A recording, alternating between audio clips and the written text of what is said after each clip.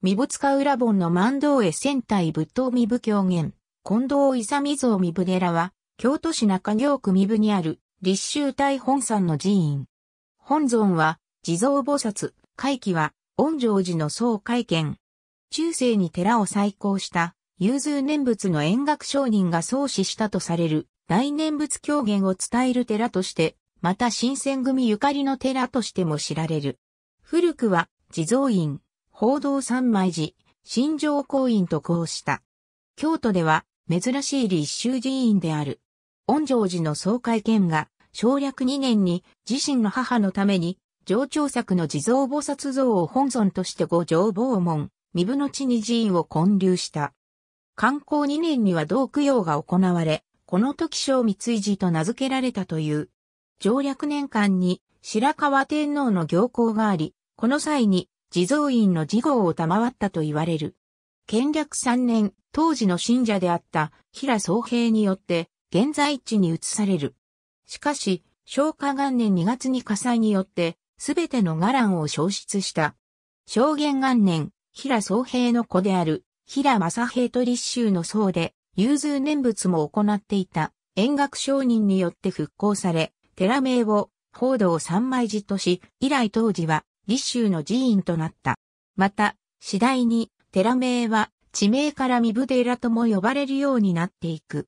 大念仏会の際に上演される、重要無形民族文化財の身部大念仏狂言は、昭安2年に円楽商人が始めたものと伝えられる。大英8年2月、本堂と南門以外が壊れてしまったが、間もなく復興された。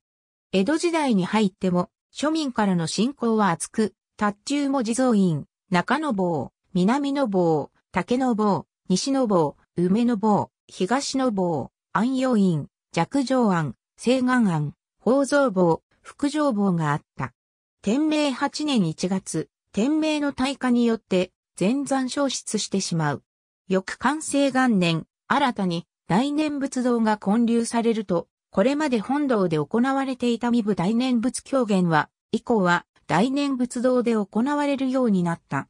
文化8年、これまで南向きであった本堂が東向きとなって再建され、他の同社も次第に復興していった。江戸時代後期の幕末には、京都の治安維持を目的に活動した新選組の本拠地であるトン所が、三部村の八木邸に置かれた。トン所が西本願寺に移転してからも、当時境内は引き続いて新選組の標法長連場に使われ、武芸などの訓練が行われた。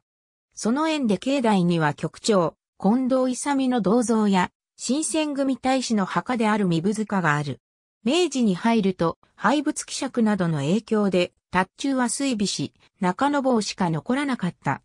当時旧本尊の地蔵菩薩半家像は、三部地蔵、延命地蔵と呼ばれ信仰を集めていたが、1962年7月25日、放火により、本堂、四天王像、金庫と共に消失した。現在の本尊、地蔵菩薩立像は、火災後に、本山の東照大寺から移されたものであり、1967年に本堂も復興した。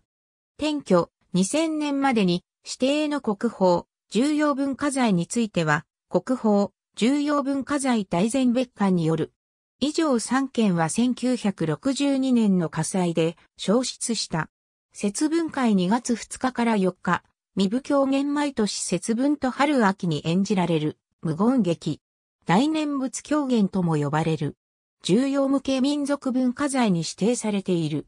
公開は2月の節分の当日と前日、4月29日から5月5日まで、及び10月の体育の日を含む3日間。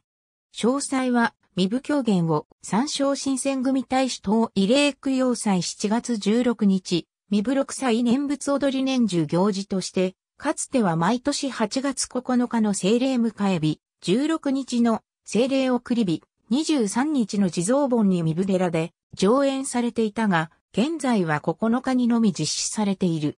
重要無形民族文化財。詳細は、未部六歳念仏踊りを、三章地蔵盆寺ので会長未部寺は、地蔵菩薩を本尊とする寺として、地蔵盆の際に、地蔵の石仏を貸し出す、俗称、レンタル地蔵を行っていることでも知られる。京都でも新興住宅地などでは地域の地蔵がなく、地蔵本が行えないことがある。この場合は宗教色を薄めた夏祭りとするところもあるが、地蔵を借りてきて地蔵本を行うところもある。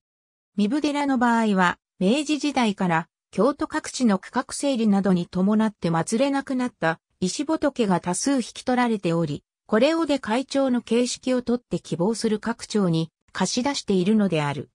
落葉33書観音令状27、平等寺28未部寺中院29、福祥寺、京都12薬師令状3水薬師寺4、三部寺ご地福寺。ありがとうございます。